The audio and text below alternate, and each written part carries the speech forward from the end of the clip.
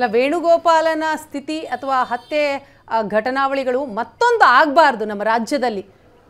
ಅಂದ ಪಕ್ಷದಲ್ಲಿ ಏನು ಆಗಬೇಕು? ರಾಜ್ಯ ಸರ್ಕಾರಕ್ಕೆ ತಾವು ಏನು ಆಗ್ರಹ ಮಾಡ್ತೀರಿ? ಸರ್ಕಾರ ಸ್ಟ್ರಿಕ್ಟ್ ಆಗಿರಬೇಕು ಅಷ್ಟೇ. ಈ ಥರದ್ದು ಮಾಡೋರನ್ನ ಸಹಿಸ್ಕೊಳ್ಳೋದಿಲ್ಲ ಅಂತ ಹೇಳಬೇಕು. ನಾನು ತಕ್ಷಣಕ್ಕೆ ಅವ್ರು ಕೇಳೋದೇನು ಅಂದರೆ ಎಚ್ ಸಿ ಮಹಾದೇವಪ್ಪ ಅವ್ರನ್ನ ಕ್ಯಾಬಿನೆಟಿಂದ ತೆಗೆದುಬಿಡಿ. ನಿಮ್ಮ ಮಗ ಕ್ಲೀನ್ ಚಿಟ್ ತೆಗೆದುಕೊಂಡು ಬರುವವರೆಗೂ ಒಳಗೆ ಸೇರಿಸ್ಕೊಳ್ಳಲ್ಲ ನಿಮ್ಮನ್ನ ಅಂತ. ಇವರು ಸಹಚಾರರು ನಿಮ್ಮ ಮಗನಿಗೆ ಸಂಬಂಧಪಟ್ಟವರಲ್ಲ ಅಂತ ಗೊತ್ತಾಗಲಿ ಅಂತ.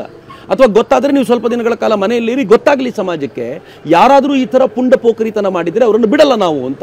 ಪದೇ ಪದೇ ಐ ಟಿ ಮಿನಿಸ್ಟರ್ ಬಂದು ಹೇಳ್ತಿರ್ತಾರಲ್ಲ ಯಾರಾದರೂ ಪುಂಡ ಪೋಖರಿತನ ಮಾಡಿದರೆ ಫೇಸ್ಬುಕ್ಕಲ್ಲಿ ಹಾಕಿದರೆ ಅವ್ರನ್ನ ನಾವು ಬಿಡಲ್ಲ ಅಂತ. ಹತ್ಯೆನೇ ಮಾಡಿದವರಿಗೆ ಅವ್ರ ಜೊತೆಗಾರರು ನಿಮ್ಮ ಕ್ಯಾಬಿನೆಟಲ್ಲೇ ಇದ್ದಾರೆ ಅಂತಾದರೆ, ಆಗ ಸುಮ್ಮನಿದ್ರೆ ಅಂದರೆ ಈಗ ತಕ್ಷಣಕ್ಕೆ ಆಗಬೇಕಾಗಿರೋದು ಸಿದ್ದರಾಮಯ್ಯನವರು ಒಂದು ಕಠಿಣ ನಿರ್ಧಾರ ತೆಗೆದುಕೊಳ್ಳಲಿಕ್ಕೆ ಸಿದ್ಧರಾಗಬೇಕಾದಂಥ ಅಗತ್ಯ ಇದೆ. ಸಿದ್ದರಾಮಯ್ಯನವ್ರ ಮೇಲೆ ಈ ವಿಚಾರದಲ್ಲಿ ಒಂದು ವಿಶ್ವಾಸ ಇದೆ, ತಗೋಬೋದು ಅಂತ. ಹಂಗಾದರೆ ಮಾತ್ರ ಇದಕ್ಕೊಂದು ಪೂರ್ಣ ಪ್ರಮಾಣದ ನ್ಯಾಯ ಸಿಗಲಿಕ್ಕೆ ಸಾಧ್ಯ. ಈ ಹತ್ಯೆಗೆ ನ್ಯಾಯ ಸಿಗೋದು ಒಂದು ಪಾರ್ಟ್, ಆದರೆ ಎರಡನೇ ಪಾರ್ಟ್ ಏನು ಅಂದರೆ, ಇನ್ನು ಮುಂದೆ ಈ ಥರದ ವೇಣುಗೋಪಾಲ್ ನಾಯಕ್ ಕೇಸ್ ಆಗಬಾರ್ದು ಅಂತಂದರೆ ಇವತ್ತೇ ಇದಕ್ಕೊಂದು ಕಠಿಣ ಕ್ರಮ ಕೈ ತಗೊಳ್ಬೇಕು. ಇಲ್ಲ ಅಂತಂದರೆ ಇದರ ಆಧಾರವಾಗಿಟ್ಟುಕೊಂಡು ಅನೇಕರು ಒಂದಾದ್ಮೇಲೆ ಒಂದು ಹತ್ಯೆಗೆ ನಿಂತು ಬಿಡ್ತಾರೆ ಆಮೇಲೆ ಬಹಳ ಕಷ್ಟ ಇದೆ ಅಂತ ನನಗನ್ಸುತ್ತೆ ನೋಡೋಣ, ಸರ್ಕಾರ ಏನು ಮಾಡುತ್ತೆ? ಕಾನೂನು ಯಾವ ರೀತಿಯ ಕ್ರಮಗಳನ್ನ ತೆಗೆದುಕೊಳ್ಳುತ್ತೆ ಅಂತ?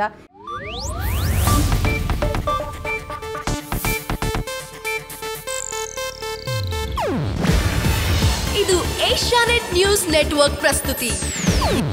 ನೀವು ನೋಡ್ತಿದ್ದೀರಾ ಏಷ್ಯಾ ನೆಟ್ ಸುವರ್ಣ ನ್ಯೂಸ್.